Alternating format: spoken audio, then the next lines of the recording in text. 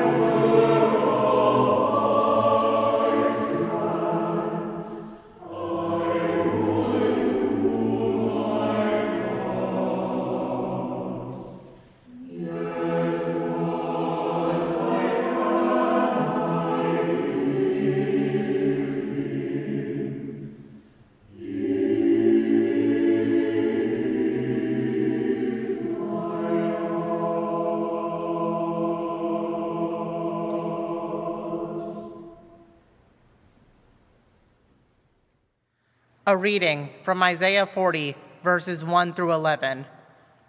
Comfort, O comfort my people, says your God.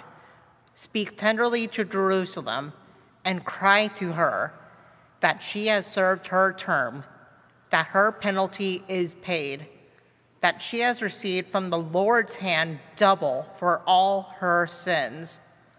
A voice cries out, In the wilderness, prepare the way of the Lord Make straight in the desert a highway for our God. Every valley shall be lifted up, and every mountain and hill shall be made low. And even uneven ground shall become level, and the rough places a plain. Then the glory of God shall be revealed, for all people shall see it together. For the mouth of the Lord has spoken. A voice says, Cry out. And I said, What shall I cry? All people are grass. Their constancy is like the flower of the field. The grass withers, the flower fades. When the breath of the Lord blows upon it, surely the people are grass.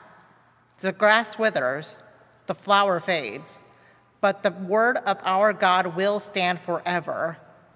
Get you up on a high mountain O Zion, herald of good tidings, lift up your voice with strength.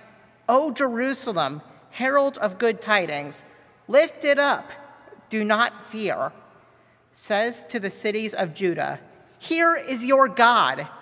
See, the Lord comes with might, and his arms rule for him. His reward is with him, and his recompense before him. He will feed his flock like a shepherd. He will gather the lambs in his arms and carry them in his bosom and gently lead the mother sheep.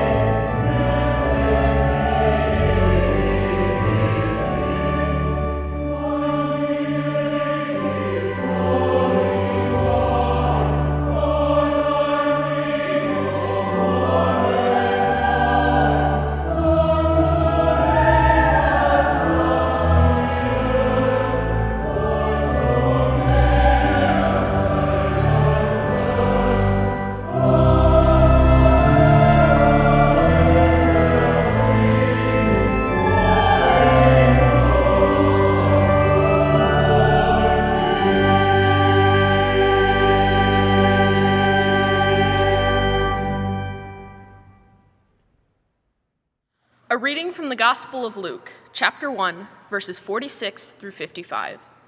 And Mary said, My soul magnifies the Lord, and my spirit rejoices in God my Savior. For he has looked with favor on the lowliness of his servant. Surely from now on all generations will call me blessed. For the mighty one has done great things for me, and holy is his name. His mercy is for those who fear him from generation to generation. He has shown strength in his arm. He has scattered the proud in the thoughts of their hearts. He has brought down the powerful from their thrones and lifted up the lowly. He has filled the hungry with good things and sent the rich away empty.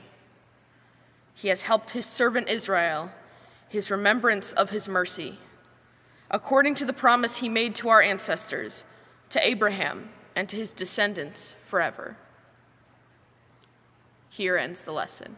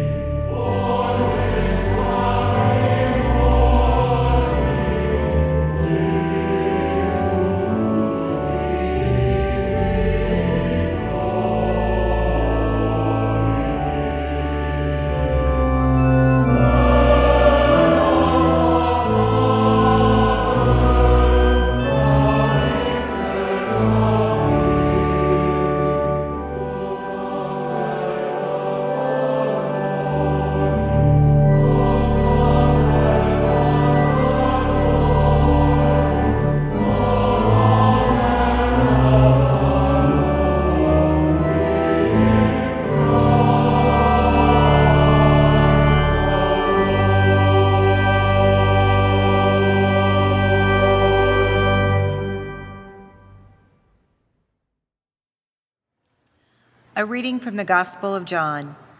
In the beginning was the Word, and the Word was with God, and the Word was God. He was in the beginning with God. All things came into being through him, and without him, not one thing came into being. What has come into being in him was life, and the life was the light of all people. The light shines in the darkness, and the darkness did not overcome it. There was a man sent from God whose name was John. He came as a witness to testify to the light, so that all might believe through him. He himself was not the light, but he came to testify to the light. The true light, which enlightens everyone, was coming into the world. He was in the world, and the world came into being through him, yet the world did not know him. He came to what was his own, and his own people did not accept him. But to all who received him, who believed in his name, he gave power to become children of God, who were born not of blood, or of the will of the flesh, or of the will of man, but of God. And the Word became flesh and lived among us, and we have seen his glory, the glory as of a Father's only Son, full of grace and truth.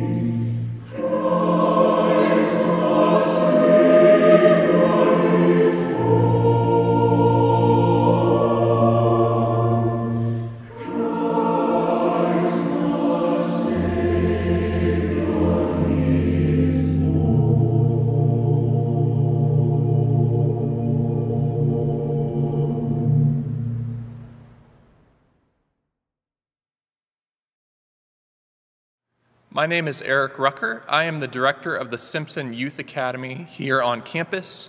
And before we move to our benediction, we want to take just a moment to say thank you to so many people who have made this service possible uh, in the midst of this challenging condition of the pandemic. We are grateful to the Simpson College Music Department for the beautiful arrangements that they provided for this service. We are grateful for the chapel staff at Simpson College for coordinating the service. And of course, we are grateful to the high school and college students who have provided reflections and readings for this event from the Simpson Youth Academy and the religious life community.